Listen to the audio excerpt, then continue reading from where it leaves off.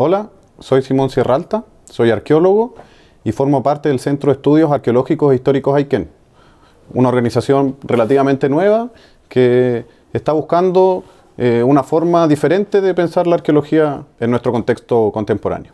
El conflicto entre el Estado chileno y el pueblo mapuche eh, lleva ya 200 años.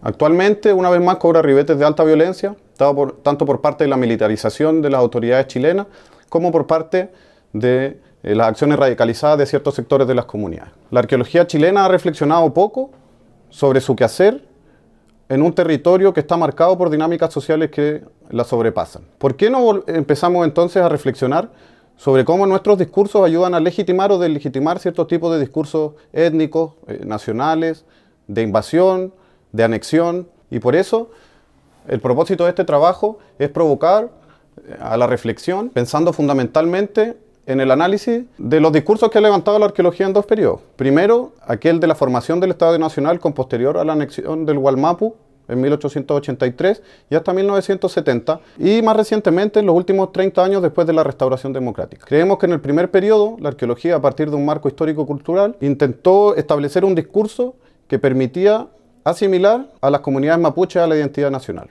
En, este, en el último, en cambio, en un contexto que ha, estado marcado por las políticas de multiculturalismo de la concertación, la arqueología se ha, vuelto, se ha visto envuelta en una dinámica más compleja, en donde necesita reconocer a las comunidades, pero donde aparentemente no ha establecido un vínculo significativo entre el discurso que levanta sobre la prehistoria y las comunidades que podríamos decir son las herederas de dicha historia.